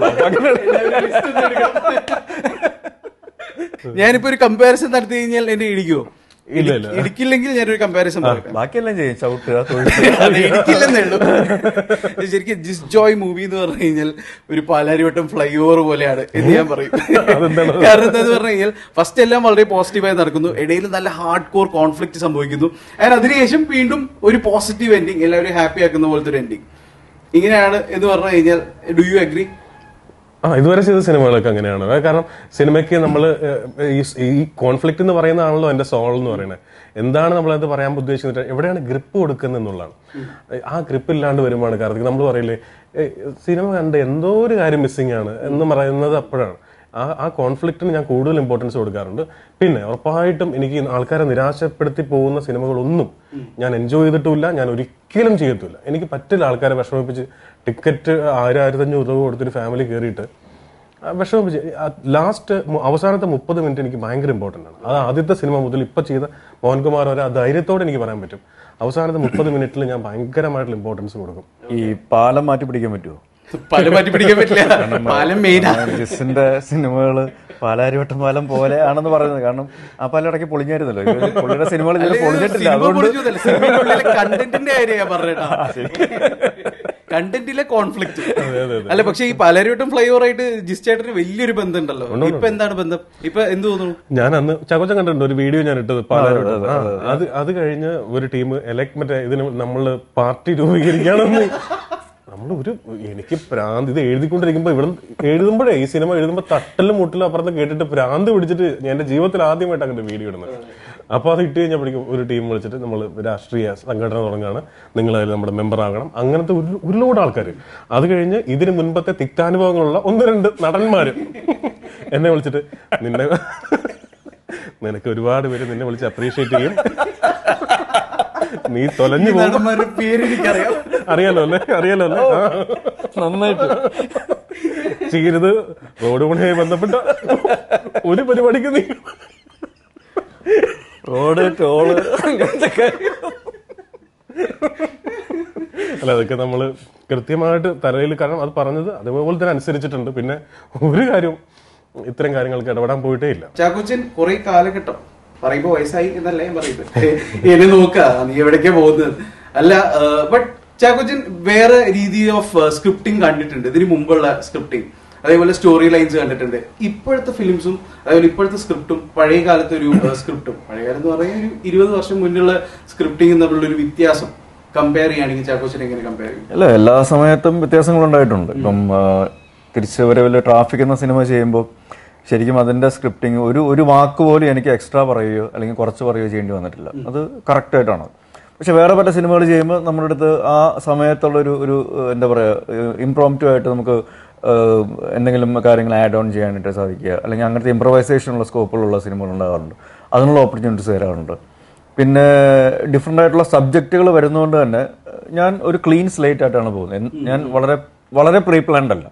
ഒരു ഐഡിയ ഏകദേശം ഐഡിയ ഉണ്ടാവും. എന്താണ് എങ്ങനെയാണ് ക്യാരക്ടർ എങ്ങനെയാണ് ഏതൊക്കെ രീതിയിലാണ് മൂവ് ചെയ്യേണ്ടത് എന്നുള്ളതിനെ പറ്റി ഏകദേശം ഐഡിയ വെച്ചിട്ടാണ് ഞാൻ പോകുന്നത്. പക്ഷേ ഞാൻ അത് കറക്റ്റ് റൂട്ടിൽ ആ ചാനലിൽ വീഴുന്നത് അവിടെ ചെന്ന് കഴിഞ്ഞ് ഡയറക്ടറും സ്ക്രിപ്റ്റ് റൈറ്ററും അവിടുത്തെ ഒരു ആംബിയൻസും കൂടെ അഭിനയിക്കുന്നവരും എല്ലാവരും കൂടെ സെറ്റായി കഴിയുമ്പോഴാണ് ആ ക്യാരക്ടർ നമ്മളിലേക്ക് കറക്റ്റായിട്ട് എന്റർ ചെയ്യുള്ളൂ. അല്ലെങ്കിൽ നമ്മൾ അതിലോട്ട് എന്റർ ചെയ്യുള്ളൂ. അപ്പോൾ അങ്ങനത്തെ മാറ്റങ്ങൾ ഇപ്പോഴത്തെ ഒരു സെലക്ഷനിൽ ഒരുപാട് ഹെൽപ്പ് ഔട്ട് ചെയ്യുന്നുണ്ട്. അതിൽ എന്റെ ഇൻവോൾവ്മെന്റും കൂടുതലാണ്. അവർ നമ്മളോട് പറയുന്ന കാര്യങ്ങളിലും ക്ലാരിറ്റിയും കാര്യങ്ങളൊക്കെ വളരെ കൂടുതലാണ്. അത് ഒരുപാട് സഹായിക്കുന്നുണ്ട്. ഇപ്പോൾ ഇപ്പോൾ ഈ സ്ക്രിപ്റ്റ് ചൂസ് ചെയ്യുക അല്ലെങ്കിൽ ഒരു സിനിമ ചൂസ് ചെയ്യുക എന്ന് പറയുന്നത് ഇത്തിരി കൂടി ഡിഫിക്കൽട്ട് ആയ പോലെ തോന്നുന്നുണ്ടോ? ഒരു പരിധി വരെ. കാരണം പണ്ട് ഇത്രയും ഡിഫറെന്റ് ആയിട്ടുള്ള സ്ക്രിപ്റ്റുകൾ വരാറില്ലായിരുന്നു. എല്ലാം ഏകദേശം ഒരേ സാധനങ്ങളായിരുന്നു. പക്ഷെ ഇതിപ്പം ഇപ്പൊ വളരെ ഡിഫറെന്റ് ആയിട്ടുള്ള തോട്ട്സ് ഉള്ള ഒരുപാട് ആൾക്കാർ പഴയ ആൾക്കാരാണെങ്കിലും പുതിയ ആൾക്കാരാണെങ്കിലും ആസ്പയറിംഗ് ഉള്ള ആൾക്കാരാണെങ്കിലും എല്ലാവരും വളരെ ഡിഫറെന്റ് ആയിട്ടുള്ള എക്സൈറ്റിംഗ് ആയിട്ടുള്ള സബ്ജക്ട്സും പ്രോജക്ട്സും ആയിട്ടാണ് വരുന്നത്. അപ്പോൾ അതിൽ ഞാൻ ബ്ലസ്ഡ് ആണ്. പിന്നെ ചിലതൊക്കെ ഞാൻ അങ്ങോട്ട് ചോദിച്ച് വാങ്ങിക്കുന്ന ക്യാരക്ടേഴ്സും സിനിമകളും പ്രോജക്റ്റുകളും ഒക്കെ ഉണ്ട്. കാരണം ചിലരുടെ കൂടെ വർക്ക് ചെയ്യണമെന്ന് ഭയങ്കര ആഗ്രഹം ഉണ്ടാവും. ഭയങ്കര എക്സൈറ്റിംഗ് ആയിട്ടുള്ള പ്രോജക്റ്റുകളുടെ ഭാഗമാകാനായിട്ടുള്ള ഒരു ഒരു ആഗ്രഹം അന്നും ഇന്നും എന്നും ഉള്ള ഒരു ആളാണ് ഞാൻ. ഞാൻ മാത്രമല്ല എല്ലാവരും അങ്ങനെ തന്നെയായിരിക്കും. അപ്പം ഇപ്പം അതിൽ എനിക്ക് കുറച്ചും കൂടെ ഒരു ഒരു ഒരു എന്താ പറയുക ഒരു ഭാഗ്യം കൂടുതൽ കിട്ടുന്നുണ്ട് എന്നുള്ളതാണ് സത്യം. ഇപ്പോഴത്തെ ഈ ഡയറക്ടേഴ്സിനെയൊക്കെ നോക്കുകയാണെങ്കിൽ അവരെ സിനിമയുടെ ഈ ടൈറ്റിൽ എന്ന് പറയുന്നത് സംസ്കൃതത്തിലെ ചില വാക്കുകൾ വരെ ഇടാൻ അവർ ശ്രമിച്ചുകൊണ്ട് അത്രയും ഒത്തിരി ഹാർഡ് കോർ ആയിട്ടുള്ള ടൈറ്റിൽസ് ആൾക്കാർ തപ്പിക്കൊണ്ടിരിക്കുമ്പോൾ ഏറ്റവും സിമ്പിൾ ആയിട്ട് സൺഡേ ഹോളിഡേ വിജയ് സൂപ്രം പൗർണമി. ഇപ്പൊ മോഹൻകുമാർ ഫാൻസ് ഈ ഈ സിംപ്ലിസിറ്റി ടൈറ്റിൽസിൽ അത് എങ്ങനെയാണ് അത് മെയിന്റെയിൻ ചെയ്യുന്നത്? അറിവില്ലായ്മയാണ്. സംസ്കൃതം പഠിച്ചിട്ടില്ല. അല്ല സംസ്കൃതം ഞാനൊരു അതിശയോക്തി പറഞ്ഞതേ സിമ്പിൾ ബട്ട് പവർഫുൾ എനിക്ക് തോന്നിയിട്ടില്ല എപ്പോഴും എന്റെ കൽബിലെ വെണ്ണിലാവുന്ന ഈ നല്ല പാട്ടുകാര എന്ന് എഴുതാൻ ആയിരിക്കും ഒരു കവിക്ക് ഏറ്റവും ബുദ്ധിമുട്ട്. അല്ലേ? അത് അതെപ്പോഴും അത് എപ്പോഴും അങ്ങനെയാണെന്ന് എനിക്ക് തോന്നുന്നു. എല്ലാ എല്ലാ കാര്യങ്ങളും ഇപ്പൊ ദാസേട്ടൻ പാട്ട് പാടുന്ന പോലെ ദാസേട്ടൻ പാട്ട് പാടുന്ന കാണുമ്പോൾ നമുക്ക് തോന്നുന്നു "ആ, ഈ ഇത്ര സിമ്പിളാണ് പാട്ട് പാടാനായിട്ട്? ഇത് ആർക്കും പാടാമല്ലോ കുഴപ്പമില്ലല്ലോ എന്ന്. എന്ന് പറഞ്ഞ പോലെ എല്ലാ കലാസൃഷ്ടിയും അതിന്റെ ഏറ്റവും ലളിതമായ അവസ്ഥയിലേക്ക് എത്തി തോന്നിപ്പിക്കലാണ് ബുദ്ധിമുട്ടെന്ന് എനിക്ക് തോന്നുന്നു. അപ്പോൾ അതുകൊണ്ട് തന്നെ പേരുകൾ എപ്പോഴും സിമ്പിൾ ആയിരിക്കാനായിട്ട് ശ്രദ്ധിക്കും. എനിക്ക് പക്ഷെ പേരെന്ന് പറഞ്ഞാൽ എന്തിന്റെ ഐഡന്റിറ്റി ആണല്ലോ? അപ്പൊ അത് ശ്രദ്ധിക്കപ്പെടണം എന്നില്ല അപ്പൊ അതുകൊണ്ടാണ് ഇപ്പൊ വിജയ് സൂപ്പർ എന്നിടാ വിജയ് സൂപ്പറും പൗർണമിയും സഞ്ജയനോട് പറഞ്ഞ പേര് ഫാൻസ് എന്നായിരുന്നു ഈ പടത്തിന് നമ്മളത് മോഹൻകുമാർ ഫാൻസ് എന്നാക്കും അങ്ങനെയൊക്കെ ഒരു ആഗ്രഹമുണ്ട്. ഓക്കെ. ഇപ്പൊ ഈ സിനിമയിൽ തന്നെ കമ്പിളി പൊതുപ്പ് എന്നുള്ളതാണ്. നൂറ് ദിവസം ഓടിയ സിനിമയുടെ പേര് അല്ലേ? കമ്പിളി പതിപ്പ് കമ്പിളി പതിപ്പ് ഏഹ് കമ്പിളി പൊതുപ്പ് അത് അങ്ങനെ ഇടാൻ കാരണം? ചുമ്മാ ലൈക്ക് അത് ഒരു സ്പൂഫ് എപ്പിസോഡാണ്. സർക്കാസമാണ്. അത് കാർത്തിക് സിനിമ കാണുമ്പോൾ മനസ്സിലാവും. അത് ആ വിനയ് ഫോർട്ടിന്റെ ട്രാക്ക് കംപ്ലീറ്റ് അല്ല ഇതിൽ എടുത്തു പറയേണ്ടത് വിനയുടെ ഒരു ഒരു ക്യാരക്ടറൈസേഷനും അതിന്റെ ഒരു ട്രാക്കുമാണ് അത് വളരെ രസകരമായിട്ട് പോകുന്ന ഒരു ട്രാക്കാണത് സിനിമയുടെ സിനിമയിൽ നമുക്ക് പലരെയും അതിൽ റിലേറ്റ് ചെയ്യാൻ പറ്റും. സിനിമയിലെ പല ഇൻസിഡൻസ് നമുക്ക് അതിൽ കാണാനായിട്ട് സാധിക്കും. പിന്നെ ഈ സിനിമയ്ക്കുള്ള സിനിമയുടെ കഥ പറയുമ്പോൾ ശരിക്കും ഞാൻ എനിക്ക് തോന്നിയിട്ടുള്ളൊരു കാര്യം. ഈ സിനിമയിലുള്ളവരെക്കാൾ കൂടുതൽ സിനിമയിലേക്ക് വരാനായിട്ട് ആഗ്രഹിക്കുന്ന ഒരുപാട് ആൾക്കാർ പുറത്തുണ്ട്. ഒരു വളരെ ഒരു ഒരു ചെറിയ ശതമാനത്തിന് മാത്രമേ സിനിമയിൽ വരാനായിട്ട് അല്ലെങ്കിൽ നിലനിൽക്കാനായിട്ട് സാധിക്കുന്നുള്ളൂ. ഈ സിനിമയിലേക്ക് വരാനായിട്ട് ആസ്പർ ചെയ്യുന്ന എത്രയോ ആൾക്കാർ പുറത്തേക്കുന്നു അപ്പോൾ അവർക്ക് എല്ലാവർക്കും പ്ലസ് ഈ കാര്യങ്ങളിലേക്കൊക്കെ റിലേറ്റ് ചെയ്യാൻ ആയിട്ട് സാധിക്കുന്നതാണ് എനിക്ക് തോന്നിയിട്ടുള്ളത്. അപ്പോൾ ഒരു മെജോറിറ്റി ഓഫ് ഓഡിയൻസിനേക്ക് ഈ സിനിമയ്ക്കുള്ളിലെ സിനിമയാണെങ്കിൽ പോലും അത് കേറ്റർ ചെയ്യാൻ പറ്റും എന്നുള്ളൊരു വിശ്വാസമുണ്ട്. പിന്നെ ഈ ഹ്യൂമറിന്റെ മേമ്പൊടിയോട് കൂടി പറയുന്നതുകൊണ്ട് തന്നെ വിനയ് ഇതിൽ തകർത്ത് ഞാൻ ഞാൻ ഇപ്പൊ ഇന്റർവ്യൂ തുടങ്ങുന്നതിന് തൊട്ട് മുമ്പ് ഇപ്പൊ വിനയ് ഫോർട്ട് പുള്ളിക്കാരൻ ഷൂട്ടിലാണ്. അപ്പൊ ഞാൻ രാവിലെ വിളിച്ചിട്ടുണ്ടായിരുന്നു. അപ്പൊ എന്റെ അടുത്ത് പറഞ്ഞു എടാ ആഘോഷ് എന്ന് പറയുന്ന ക്യാരക്ടർ ആഘോഷിച്ചിട്ടുണ്ട്. അല്ലെങ്കിൽ ഞാനങ്ങ് തകർത്തിട്ടുണ്ട്. പുള്ളി പുള്ളി- കാരണം ഞാൻ ഭയങ്കര എക്സൈറ്റഡ് ആണ്. അപ്പൊ അത് ഒരു എനിക്ക് തോന്നുന്നു പൃഥ്വിരാജ് എല്ലാവരും കുറെ പേര് കോംപ്ലിമെന്റ്സ് പറഞ്ഞു. വിളിച്ചിട്ട്. അതെന്താ സന്തോഷം വെച്ചാൽ ഇപ്പൊ ട്രെയിലർ ഇറക്കിയപ്പോ തന്നെ ആൾക്കാർ ഇപ്പൊ കഴിഞ്ഞ പ്രൊമോഷൻ ഇന്റർവ്യൂസ് വെച്ചപ്പോ എല്ലാരും വിനയനോട് ആഘോഷ് മനോ ആഘോഷ് മനോ അതൊരു സന്തോഷമല്ലേ? ഒരു ട്രെയിലർ മാത്രം കണ്ട് ഒരാളുടെ ക്യാരക്ടറിനെ കുറിച്ച് വിളിക്കുക ആ പേര് വിളിക്കുക എന്ന് പറയുന്നത്. വിനയ് ഞാൻ ഒരുപാട് ചിരിച്ചുകൊണ്ട് എഴുതിയിട്ടുള്ള കഥാപാത്രമാണ് ആ കഥാപാത്രം. കാരണം എന്റെ ജീവിതത്തിൽ ഞാൻ പരിചയപ്പെട്ട ഇപ്പൊ ഈ ആർട്ട് ഫിലിംസ് ചെയ്യുമ്പോഴും അല്ലാതെയും സുഹൃത്ത് സദസ്സുകളിലും ഒക്കെ പരിചയപ്പെട്ടും കേട്ടും താരങ്ങളുണ്ടല്ലോ. ഈ കഴിഞ്ഞ നമ്മൾ കേട്ട കുറേ താരങ്ങൾ. ഇവരുടെ എല്ലാം ഇവർ ഇവരെല്ലാം നല്ല ഇന്റലക്ച്വൽ ആയിട്ടുള്ള ആൾക്കാരാണ്. പക്ഷെ ഇവർ ചില സമയത്ത് വിഡിതങ്ങൾ പറയും. പ്രേക്ഷകരെ വില കുറച്ച് കാണുന്ന കാര്യങ്ങൾ പറയും. ഇതൊക്കെ ഇങ്ങനെ നോട്ട് ചെയ്ത് നോട്ട് ചെയ്ത് നോട്ട് ചെയ്ത് വെച്ച് ആകെ തോക്കി. ആകെ തോക്കി. ആഘോഷ മനോഹരം അങ്ങനെ ആവാഹിച്ചു. ഞാൻ ഡബിങ് ചെയ്യുന്ന സമയത്തൊക്കെ എപ്പോഴൊക്കെ വിനയ് ഫ്രെയിമിലേക്ക് വരുന്നുണ്ടോ അപ്പോഴൊക്കെ ഞാൻ പൊട്ടിച്ചിരിക്കുന്നു അപ്പൊ അത് ആ ഒരു ഒരു ചിരി തിയേറ്ററിലെ ആൾക്കാരിലേക്ക് കിട്ടുമെന്ന് തന്നെയാണ് ഞങ്ങൾ പ്രതീക്ഷിക്കുന്നത്. എനിക്ക് ജിസ്ജോയ് മൂവീസിലെ പോസ്റ്റേഴ്സ് ഭയങ്കര ഇഷ്ടമാണ് കാരണം ആ പേസ്റ്റൽ കളർ യൂസ് ചെയ്യുന്നതാണെങ്കിൽ ഭയങ്കര കളർഫുൾ ആണല്ലോ. ഇത് ഈ ഉള്ളിൽ അഡ്വർടൈസിങ് ഒരു ഡയറക്ടർ ഉള്ളത് കൊണ്ട് തന്നെയാണ്? ഈ അഡ്വർടൈസിങ് എനിക്ക് വളരെയധികം ഗുണം ചെയ്തിട്ടുണ്ട്. അത്തരം ഒരു കളർ സ്കീമുകൾ കളർ പാലറ്റ് ചൂസ് ചെയ്യുന്നതിനും ഒക്കെ പറഞ്ഞ പോലെ അത് അത് നിർബന്ധം. അത് ഫ്രെയിംസ് വെക്കുമ്പോഴും എനിക്കത് നിർബന്ധമുണ്ട്. അഡ്വർടൈസ്മെന്റ് ചെയ്യുമ്പോൾ ഏറ്റവും വലിയ ഗുണം എന്ന് വെച്ചാൽ ഇപ്പോൾ നമ്മൾ ഒരു കഥ ഇപ്പോൾ ചായ ചായപ്പൊടിയുടെ പരസ്യമായിരിക്കാം. തുടങ്ങുന്നത് പെണ്ണ് കാണാൻ വരുന്ന പെണ്ണ് ചായ കൊണ്ടുവരുന്നു ചായ ഉണ്ടാക്കുന്നു ചായ കൊണ്ടുവരുന്നു. ചെക്കന് കൊടുക്കുന്നു. അടുത്ത കട്ട് കല്യാണ മണ്ഡപമായിരിക്കും. നെക്സ്റ്റ് കട്ട് ഏതെങ്കിലും മൂന്നാറ് മലയുടെ മുകളിൽ നിന്നുകൊണ്ട് അവർ കോഫി കുടിക്കുന്നു. അത് മുപ്പതോ ഇരുപതോ സെക്കൻഡിൽ നമ്മൾ എന്തെല്ലാം പറഞ്ഞു. ഈ മുഹൂർത്തം മുഹൂർത്തം എന്ന് പറയുന്നത് ഞാൻ അങ്ങനെ വിളിക്കുന്നത് ആ മുഹൂർത്തം പിടികിട്ടാൻ പറ്റുന്നതാണ് ഒരു സംവിധായകൻ ആദ്യം വേണ്ടതെന്ന് എനിക്ക് തോന്നുന്നു. എന്താണ് ഈ സീനിന്റെ ഇമോഷൻ ഈ സീൻ ഇപ്പൊ പറയേണ്ടത് എന്താണ്? എന്ത് ഇപ്പോ ചാക്കോച്ചൻ പണ്ട് ഒരു സിനിമ ഞാൻ പത്ത് വർഷം മുമ്പ് ചാക്കോച്ചൻ മല്ലു സിംഗ് അഭിനയിച്ചുകൊണ്ടിരിക്കുകയാണ്. അപ്പൊ ചാക്കോച്ചൻ അഭിനയിച്ച പടമാണ്. പടത്തിന് ഞാൻ ഡബ് ചെയ്തിട്ടുണ്ട്. പ്രധാനപ്പെട്ട ക്യാരക്ടർ ഡബ് ചെയ്തിട്ടുണ്ട്. ഞാൻ രാത്രി ഒരു ഒമ്പത് മണിയായപ്പോൾ ചാക്കോച്ചനെ വിളിച്ചു. ചാക്കോ അപ്പോൾ ചാക്കോച്ചൻ ഭയങ്കര കാലുവേദനയാണ്. ഫുൾ ഡാൻസ് ആയിരുന്നു. വലിയ ഒരു രക്ഷയിൽ കാലുവേദന എന്നൊക്കെ പറഞ്ഞിരിക്കുക അപ്പോൾ ഞാൻ ഇന്ന് ഇന്ന സിനിമ ഡബ് ചെയ്തു. എനിക്ക് ഭയങ്കര ഇഷ്ടപ്പെട്ടു. അപ്പോൾ ചോദിച്ചു ആണോ? നിനക്ക് ഇഷ്ടപ്പെട്ടോ? ഞാൻ എനിക്ക് ഇഷ്ടപ്പെട്ടു. എടാ നല്ല കുറേ മുഹൂർത്തങ്ങളുണ്ട്. അപ്പോൾ ചാക്കോച്ചൻ പറഞ്ഞു എടാ ഞാൻ അതിന്റെ ക്യാമറമാൻ ഒരുപാട് വലിച്ചു വാരി ഷൂട്ട് ചെയ്യുന്നുണ്ട്. അപ്പൊ ഞാൻ അയാളോട് പറഞ്ഞു എത്ര വേണേ എടുത്തോ? പക്ഷെ എടുക്കേണ്ട സംഗതി അത് എടുക്കാതിരിക്കരുത്. അതൊരു വലിയ കാര്യമാണ് ചില കാര്യങ്ങളിൽ അത് ആ എടുക്കേണ്ട സംഗതി എടുത്തില്ലെങ്കിൽ നമ്മൾ അതുവരെ പറഞ്ഞ് വെറുതെ ആയി പോകും വെറുതെ ആയി പോകും അത് പിടികിട്ടണേ എന്ന് വരെ സിനിമ ചെയ്യുന്നു അക്കാലം വരെയും ആ ഒരു സെൻസ് ഉണ്ടാവണേ എന്നുള്ളതാണ് നമ്മുടെ ഒരു ആഗ്രഹം. ഇപ്പൊ ശരിക്കും ജിസ്റ്റോ ചേട്ടന്റെ പടം എന്ന് പറഞ്ഞു കഴിഞ്ഞാൽ നമ്മൾ പണ്ട് സ്കൂളിൽ പഠിക്കുമ്പോൾ പെട്ടെന്ന് ഒരു ദിവസം എല്ലാവർക്കും കളർ ഡ്രസ് ഇടാനുള്ള ഒരു അവസരം തരുമല്ലോ. അപ്പൊ എല്ലാവരും കാണാൻ ഭയങ്കര രസമായിരിക്കും അല്ലെ? അങ്ങനെ അങ്ങനെ ഫീൽ ചെയ്തിട്ടില്ലേ? ചാക്കോച്ചന് ഈ ഒരു ഫിലിമിൽ വർക്ക് ചെയ്ത സമയത്ത് അങ്ങനെ തോന്നിയില്ലേ? കളർഫുൾ എല്ലാവരും ഭയങ്കര. ശരിക്കും ആസ്വദിച്ച് ചെയ്തൊരു സിനിമയാണ് ശരിക്കും പറഞ്ഞത്. ഭയങ്കര കൂളായിരുന്നു. പിന്നെ നമുക്ക് ഇഷ്ടമുള്ള ആൾക്കാരോടൊപ്പം ഒരുപാട് ആൾക്കാരോടൊപ്പം നമുക്ക് വർക്ക് ചെയ്യാനായിട്ട് സാധിക്കുന്നു. വളരെ രസകരമായിട്ടുള്ള ഒരുപാട് മുഹൂർത്തങ്ങൾ കടന്നു പോകുന്ന സിനിമകൾ. ഇമോഷണൽ ആണെങ്കിലും ഹ്യൂമർ ആണെങ്കിലും പാട്ടാണെങ്കിലും പ്രണയമാണെങ്കിലും ഡാൻസ് ആണെങ്കിലും എല്ലാം എല്ലാ അർത്ഥത്തിലും. പിന്നെ ഞങ്ങൾ കാശ്മീരിലൊക്കെ പോകുന്നു. എന്റെ ലൈഫിൽ ആദ്യമായിട്ടാണ് ഞാൻ കാശ്മീർ പോകുന്നത്. ഇത്രയും സുന്ദരമായിട്ടുള്ളൊരു സ്ഥലം ഭൂമിയിൽ വേറെ ഇല്ല എന്ന് തന്നെ എനിക്ക് മനസ്സിലാക്കി തന്നൊരു ഇടമാണത്. അതും ചാക്കോച്ചൻ വരുന്നത് സ്വിറ്റ്സർലാൻഡിൽ നിന്നാണ്. സ്വിറ്റ്സർലാൻഡിൽ പോയിട്ടാണ് അങ്ങോട്ടേക്ക് വരുന്നത്. ഓക്കെ. പക്ഷെ എന്നിട്ട് പോലും ഞാൻ കാശ്മീരിന്റെ ഒരു ഭംഗി കണ്ടപ്പോൾ ഞാൻ പെഹൽ പെഹൽഗാം എന്ന് പറഞ്ഞ സ്ഥലത്താണ് ഷൂട്ടിംഗ് നടന്നത്. ഞാൻ ഹെഡ് ഓവർ ഹീൽസ് ആയിരുന്നു. ഞാൻ വളരെ ഈ സിനിമയിൽ വരുന്നതുകൊണ്ടുള്ളൊരു ഓരോ ഗുണങ്ങളും ഒരു ബ്ലെസ്സിങ്സും അതാണ്. നമുക്ക് ഇഷ്ടമുള്ള ഓരോ ആൾക്കാരുടെ സഞ്ചരിക്കുക അല്ലെങ്കിൽ അവരോട് വർക്ക് ചെയ്യുക പരിചയമില്ലാത്ത കുറേ ആൾക്കാരെ പരിചയപ്പെടാനുള്ള അവസരങ്ങളുണ്ടാകും. പുതിയ പുതിയ സ്ഥലങ്ങളിലേക്ക്. അതായത് നമ്മൾ സാധാരണക്കാരനാണെങ്കിൽ പോലും എത്തി എത്തിപ്പെടാൻ പറ്റാത്ത പല സ്ഥലങ്ങളിലേക്കും പോകാനായിട്ട് സാധിക്കും. അങ്ങനത്തെ കുറേ പ്ലസ്സുകളൊക്കെ കിട്ടാറുണ്ട്. നിങ്ങൾ കാശ്മീർ അവിടെ മറ്റേ മഞ്ഞ് വരെ വാരി തിരുന്ന വീട് ഒന്നും വിട്ടിട്ടില്ല. ഞാൻ ഇൻഫാക്ട് കേട്ടു ചാക്കുച്ചൻ പൊതുവേ തന്നെ റൊട്ടീൻസ് തെറ്റിക്കില്ല. അതുകൊണ്ട് രാവിലെ ഒറ്റയ്ക്ക് നടക്കാൻ പോയി. അത് കഴിഞ്ഞ് കൊരങ്ങന്മാരോ അങ്ങനെ എന്തൊക്കെയോ സംഭവിച്ചു പട്ടികളും കുരങ്ങന്മാരും ഞാൻ സത്യം പറഞ്ഞു നമുക്കിപ്പോ ചിരിക്കാം. ചാക്കോച്ചൻ ഇത് അന്ന് എന്നോട് പറയുമ്പോൾ ഞാൻ ഭയങ്കര ടെൻസ്ഡ് ആവുകയും കാരണം അറിയോ ഒന്നാമത്തെ കാര്യം കാശ്മീരാണ് സ്ഥലം. മറ്റേ ഇവിടെ ഫോട്ടോ വെച്ചല്ല. ഈ ഞാൻ ഇടയ്ക്ക് ഇങ്ങനെ വാഷ് ഔട്ട് ആവുന്നതിന്റെ തൊട്ട് വക്ക് വരെ എത്തിയിട്ട് തിരിച്ചു വന്ന ആളാണ് ഞാൻ. പത്തും ഇരുപതും ടേക്ക് ഒക്കെ പോകുമ്പോഴാണ് ഒരു ടേക്ക് ഓക്കെ ആവുന്നത്. കളിയ എനർജി ലെവൽ അല്ലേ? കാശ് പിടിച്ച് കഴുത്തിന് പിടിച്ച് മേടിക്കാനായിട്ട് ഞാൻ മാത്രം മേടിക്കാനല്ല. അതിന്റെ പ്രശ്നങ്ങളും ഉണ്ട്. Just how is this sir കൊള്ളാം സാർ അടിപൊളി. ഇവിടെ ഷൂട്ട് ചെയ്യണോ?